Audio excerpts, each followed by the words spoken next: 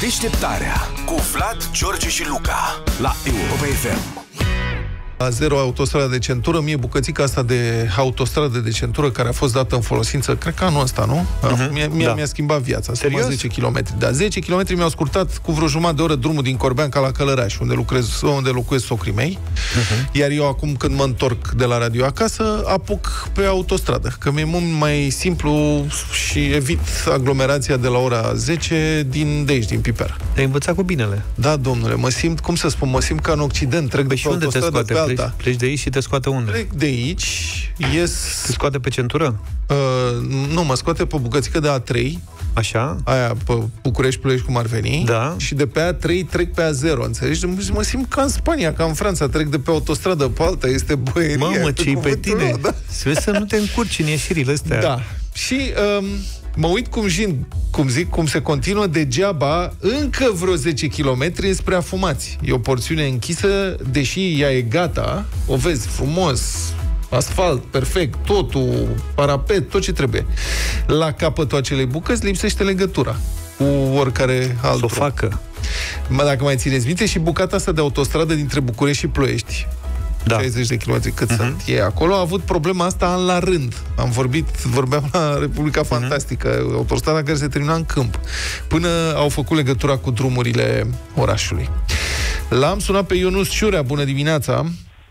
Bună dimineața! Ionus Ciurea e director executiv la Asociația Pro Infrastructură. Ionuț, eu, eu am o curiozitate. De ce nu se licitează deodată? Adică de ce nu se licitează tronsoanele astea și cu legăturile deodată?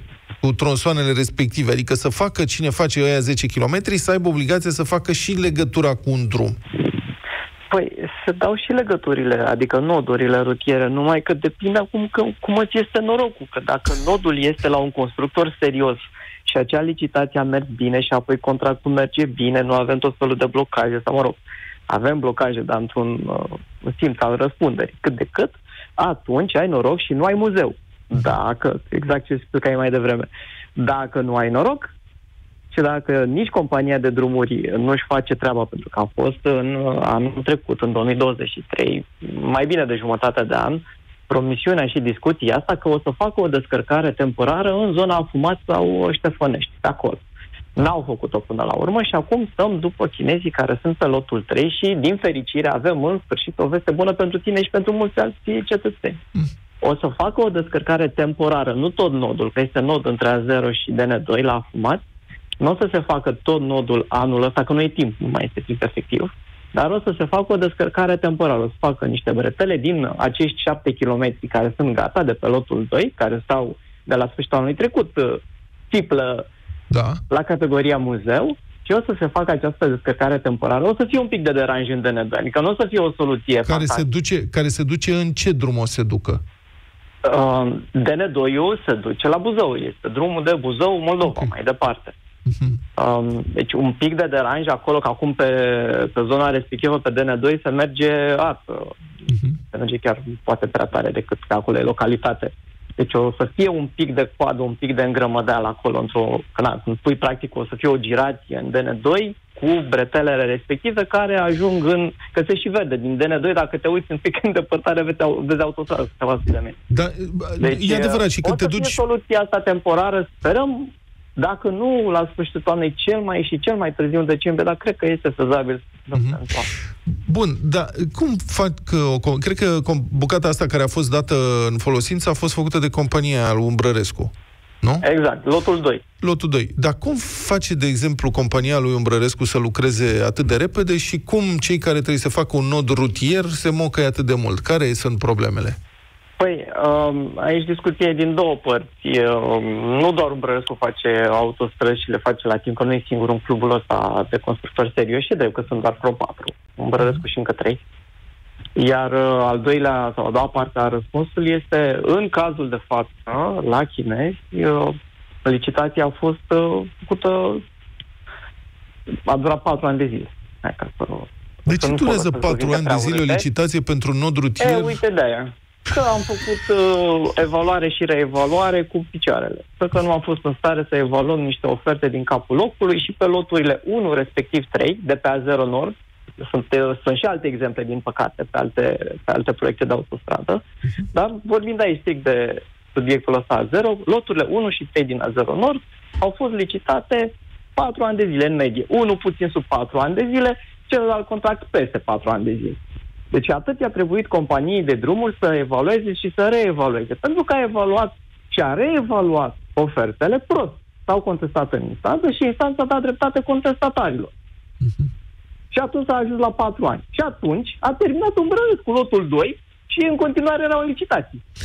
Da, Aproape. Și care e situația pe... cu câteva luni. Ionus, care e situația da. pe A0? Când o să existe acolo prima legătură completă, fie între A1 și A2, deci între autostrada... Mai, mai așteptăm un pic. Fie Haideți între DN1 și A2, adică să se scoată traficul de pe centura aia hmm, ca drum județean. Aia e RNC, de este rușinea națională centura București, nu e centura aia, drumul ăla. E un drum meag așa, chiar și pe nord, unde avem în continuare girații, avem treceri de pietoni extrem de pe, mortale la propriu. Da. În fine, deci ar trebui pe A0, undeva la 100 de kilometri, 100 și un pic, să circulăm la sfârșit de 2026 complet. În luna iulie, deci luna imediat acum, în 3-4 săptămâni, sper să termine turcii TPA 0 Sud, lotul întâi și să conectăm um, DN4, care e conectat de DN5, da? De DN6, scuze. Pe DN6, DN5, DN4, pe relația asta circulăm. Între DN4 și A2 ar trebui să circulăm luna viitoare, sper să nu ne apuce august. În cel mai rău caz august. Iar de la um, DN6 până la 1 să termine și grecii, dacă nu vor reuși măcar semi-profil anul ăsta în decembrie, în extremis, așa, printr-o mică, mare minune, mai ales pentru ei, undeva anul viitor în prima parte. Mhm. Deci ar trebui cel mai și cel mai, în cel mai prost scenariu, că nu se mișcă grecii, anul viitor, în primăvară, cel mai târziu, dacă nu vor reuși măcar semiprofil decembrie, repet, să circulăm Ce înseamnă semiprofil? pe A0 Sud. Ce înseamnă, se- sud. Ce înseamnă semiprofil? Semiprofil înseamnă pe jumătate din autostradă. Autostrada are patru benzi, două cu două. Se circulă pe un singur sens, a, și se așa de cum a circulat pe Cernavodă Medgidia, de exemplu, a, okay. dacă mai țineți minte. Da? Și am spus oamenii atunci de pe DN3, de pe Murfat, de pe Murfatlar. Deci, în cel mai rău o, scenariu, o până în jumătatea anului viitor, ar trebui să existe legătura între autostrada A1 București-Pitești și autostrada A2, pe această exact. autostradă de centura A0. Pe sud, exact. Și La sfârșitul anului viitor, la sfârșitul anului viitor ar trebui să fie gata și Umbrărescu de pe lotul 4 Nord și Chinezii, anul viitor, 2025, la sfârșit. Noiembrie, decembrie. Da? Cam așa. Uh-huh.